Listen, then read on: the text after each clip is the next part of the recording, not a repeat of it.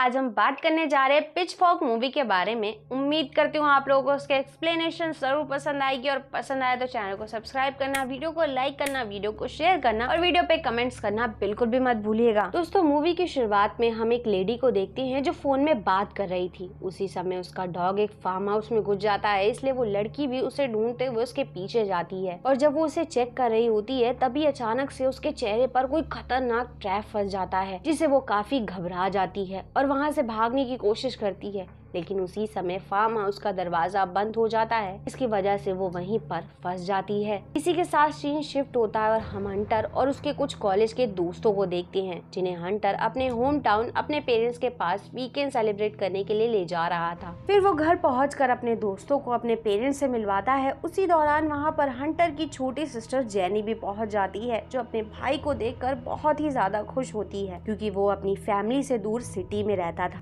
फिर सब मिलकर कैबिन के ऊपर वाले रूम में पार्टी करने के लिए डेकोरेशन करने लगते हैं, जिसके बाद वो लोग जब रात में पार्टी कर रहे होते हैं तो काफ़ी खुश दिखाई दे रहे थे। फिर हम जैनी को देखते हैं जो अपने रूम में लेटी होती है। हालाँकि वो चाहती थी कि वो भी पार्टी इंजॉय करे, लेकिन उसके डैड उसे वहाँ जाने से साफ़ इनकार कर देते हैं। तभी उसे अपने रूम में कुछ आवाज़ें सुनाई देती हैं, जिससे वो काफ़ी ज़्यादा घबरा जाती है और अपने डैड से कहती है कि आपको मेरे रूम में चेक करना चाहिए, क्योंकि मुझे ऐसा लगता है कि यहाँ पर कोई मौजूद है। पहले तो उसके डैड इस बात को बहुत ही लाइटली लेते हैं, लेकिन जब वो फोर्स करती है तो उसके डैड बेड के नीचे चेक करते हैं, लेकिन उसी समय उन पर कोई अटैक कर देता है, जिससे वो वहीं पर मारे जाते हैं। पर यहाँ पर हम देखते हैं कि अचानक से उसके बेड से बहुत ही भयानक तरीके से फॉग बाहर आता है, जिसे देखकर वो डर कर ज़ोर से चिल्लाने लगती है और फिर उसकी आवाज़ सुनकर उसकी मॉम भी उसके रूम की तरफ़ बढ़ती है, लेकिन उसे लगता है कि उसका हस्बैंड बेसमेंट में मौजूद है। इसलिए वो चेक करने के लिए बेसमेंट में जाती है तो उसे वहाँ पर कुछ कांच के टुकड़े और ब्लड दिखाई देता है,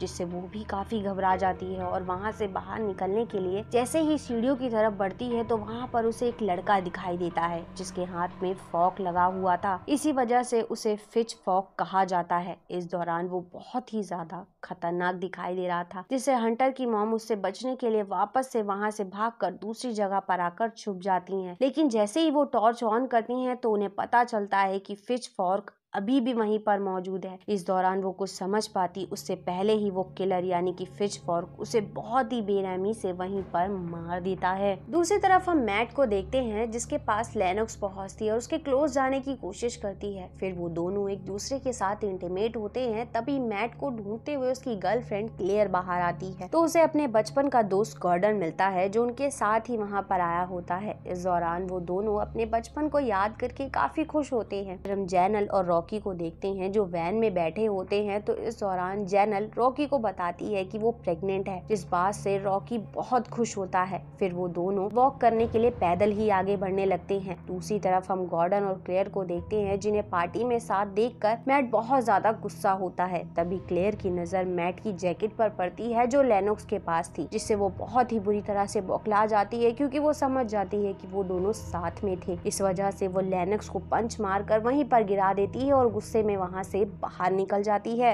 नेक्स्ट सीन में हम जैनल और रॉकी को देखते हैं जो वॉक कर रहे होते हैं। तभी उनके वैन की लाइट अचानक से जल जाती है, जिससे वो दोनों काफ़ी घबरा जाते हैं। हालाँकि पहले तो रॉकी को लगता है कि कोई उनके साथ प्रैंक कर रहा है, इसलिए वो चेक करने के लिए आगे बढ़ते हैं। लेकिन जब उन्हें एहसास होता है कि यहाँ पर कुछ गड़बड़ है तो वो तुरंत ही गाड़ी से वहाँ से निकलने का फैसला करते हैं और गाड़ी स्टार्ट करने की कोशिश करती हैं। लेकिन उनके पास चाबी नहीं होती, इससे पहले कि वो दोनों वहाँ से निकल पाते फिच फॉर्क पहुँच जाता है। तो इस दौरान हम देखते हैं कि उसके एक हाथ की जगह पर फॉर्क होता है, जिससे वो लोगों पर अटैक किया करता था। यही वजह थी कि वो इतना ज़्यादा खतरनाक दिखाई दे रहा था। साथ ही साथ उसने किसी जानवर की खाल का मास्क भी पहना हुआ था। हालाँकि उसको देखकर रॉकी और जैनल वहाँ से भागने की कोशिश करते हैं, लेकिन फिर रॉकी ये डिसीज़न लेता है कि वो अपनी गर्लफ्रेंड को वहाँ से बचाकर निकाल लेगा। इसलिए वो उसे वहाँ से भागने के लिए कहता है और खुद चाकू लेकर एक पेड़ के पीछे छुप जाता है। तभी उसे अपने पास किसी के आने का एहसास होता है, जिसे वो बिना देखे चाकू से उस पर अटैक कर देता है। तो बाद में उसे पता चलता है कि वहाँ पर कोई और नहीं, बल्कि उसकी गर्लफ्रेंड थी, जो रॉकी के अटैक करने की वजह से वहीं पर बेरहमी से मारी जाती है। तभी रॉकी पर भी फिच फॉर बुरी तरह से अटैक करके उसे वहीं पर मार देता है, जिसके बाद हम क्लेयर को देखते हैं, जो वहाँ से निकलने के लिए अपना सामान पैक कर रही होती है। तो उसे बाहर बहुत सारा ब्लड दिखाई देता है, जिससे वो डर जाती है और भाग नीचे आती है। तो वहाँ पर उसे हंटर गॉर्डन मिलता है, जिसे वो इस बारे में बताती है तो वो क्लियर को बाकी लोगों को इकट्ठा करने के लिए कहता है और खुद पुलिस को कॉल करता है। फिर वो अपनी फैमिली को भी ढूँढने लगता है। इधर क्लियर अपने दोस्तों के पास पहुँचती है और उन्हें भी इस बारे में बताने लगती है। लेकिन वो लोग इसकी बातों पर विश्वास नहीं करते, क्योंकि लेनेक्स को ऐसा लगता है कि वो मैट का अटेंशन पाने के लिए ऐसा कर रही है। लेकिन जब उन लोगों को वहाँ पर अपनी वैन दिखाई नहीं देती तो गॉर्डन मैट के साथ वैन ढूँढने के लिए वहाँ से चला जाता है। और वो दोनों जब वहाँ से जा रहे होते हैं, तभी उन्हें वहाँ पर पिचफॉर्क दिखाई देता है। हालाँकि उन्हें लगता है कि वो लेनेक्स पर अटैक करने वाला है, इसलिए वो वापस आ जाते हैं, लेकिन पिचफॉर्क उसी दौरान गॉर्डन पर कुल्हाड़ी से अटैक करके उसे वहीं पर मार देता है। ये देखकर बाकी सभी लोग बहुत ज़्यादा डर जाते हैं और वहाँ से भाग निकलते हैं। फिर हम फ्लो को देखते हैं, जिसे पिचफॉर्क के बारे में कोई भी जानकारी नहीं थी। इस वजह से वो वापस से घर आ रही होती है तो उसे पिचफॉर्क दिखाई देता है, लेकिन उसे लगता है कि कोई उसके साथ मज़ाक कर रहा है। फिर पिचफॉर्क उस पर अटैक करने की कोशिश करता है जिससे वो डर जाती है और वहाँ से भाग जाती है। लेकिन पिचफॉर्क भी उसका पीछा करने लगता है, जिससे डर कर वो एक मक्के के खेत में छुप जाती है। फिर पिचफॉर्क वहाँ पहुँच उस पर अटैक कर देता है और उसे बुरी तरह से घायल कर देता है जिसे वो वहाँ से भागने की कोशिश करती है। लेकिन पिचफॉर्क जब उसका पीछा करता है तो वो ज़मीन पर गिर जाता है। इस मौके का फ़ायदा उठाकर फ्लो उस पर हमला करती है, लेकिन वो उसे गिराकर वहीं पर बेरहमी से मार देता है। जिसके बाद हम देखते हैं कि पिचफॉर्क सभी लोगों को मारकर एक जगह पर इकट्ठा कर रहा था, जो कि काफ़ी अजीब बात थी। और यहाँ पर हम देख सकते थे कि वो बहुत ही अलग और अजीब हरकतें कर रहा था। नेक्स्ट सीन में हमें पता चलता है कि पिचफॉर्क ने अभी तक जेनी को कोई भी नुकसान नहीं पहुँचाया है। हालाँकि उसे एक पिंजरे में ज़रूर कैद करके रखा हुआ है।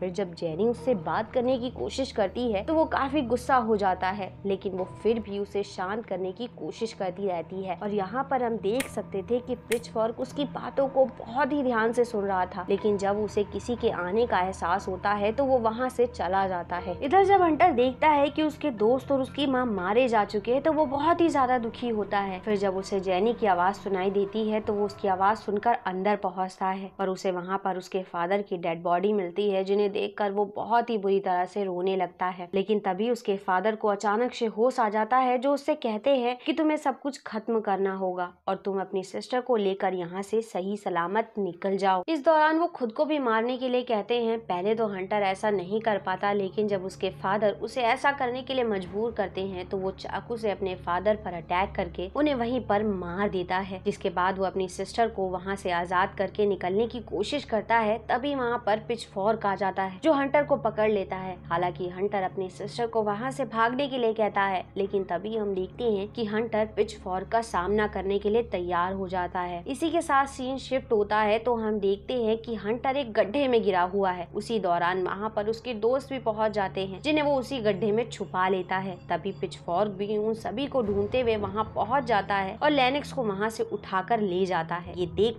वो सभी बहुत ज़्यादा घबरा जाते हैं और लेनिक्स को बचाने का फैसला करते हैं, क्योंकि वो उसे अकेला नहीं छोड़ सकते थे। इस वजह से हंटर ये फैसला करता है कि मैं पिचफॉर्क का ध्यान भटकाऊँगा, तब तुम लोग लेनिक्स को वहाँ से आज़ाद कर लेना। जिसके बाद वो लोग ऐसा ही करते हैं, इसी वजह से जब पिचफॉर्क हंटर का पीछा करते हुए एक दूसरे फार्म हाउस में पहुँचता है तो हंटर वहाँ पर एक टायर में छुप जाता है। इधर हम क्लेयर और मैट को देखते हैं, जो फ्लो को आज़ाद कराने के लिए उसके पास पहुँचते हैं। लेकिन उसकी हालत बहुत ज़्यादा खराब थी, क्योंकि उसे कटीली तारों से बांधा हुआ था। और जब वो लोग उसे खोलने की कोशिश करते हैं तो उसे बहुत ही ज़्यादा तकलीफ़ होने लगती है, जिससे वो चिल्लाने लगती है। लेकिन वो लोग उसे चुप रहने के लिए कहते हैं। तभी क्लेयर उन वायर्स को काटने के लिए कोई टूल लेने के लिए जाती है। इसी दौरान जब मैट उसे खोलने की कोशिश कर रहा था, तभी वहाँ पर पिचफॉर्क आ जाता है, जिसे देख मैट बहुत ज़्यादा डर जाता है और वहाँ पर उसे अकेला छोड़कर चला जाता है। तभी फिर फ्लो के पास जा रही क्लेयर को वो रोक लेता है और कहता है कि वो मर चुकी है। दूसरी तरफ़ हम देखते हैं कि पिचफॉर्क फ्लो को बहुत ही बुरी तरह से फिजिकली टॉर्चर कर रहा है, जिससे वो ज़ोर ज़ोर से चिल्लाने लगती है और उसकी आवाज़ सुनकर क्लेयर मैट पर काफ़ी गुस्सा होती है और कहती है कि तुमने तो कहा था कि वो मर चुकी है। इसके बाद जब फ्लो उसे खुद से दूर जाने के लिए कहती है तो वो बहुत ज़्यादा गुस्सा हो जाता है जिस वजह से वो फ्लो को बहुत ही घिनौने तरीके से टॉर्चर करने लगता है और फिर देखते ही देखते उस पर लगातार वार करके उसे बेरहमी से मार देता है। जिसके बाद वह हंटर और उसके दोस्तों के पास भी पहुँच जाता है, लेकिन यहाँ पर मैट हंटर और क्लियर को वहाँ से जाने के लिए कहता है और खुद पिचफॉर्क का सामना करने के लिए वहीं पर रुक जाता है। हालाँकि इस दौरान वो बहुत ही बहादुरी से उसका सामना करने की कोशिश करता है और फिर मौका पाकर वहाँ से भागने लगता है, पर तभी पिचफॉर्क उस पर पीछे से एक रॉड से अटैक कर देता है, जिससे वो ज़मीन पर गिर जाता है, जिसके बाद पिच फॉर्क मैट के पास पहुँच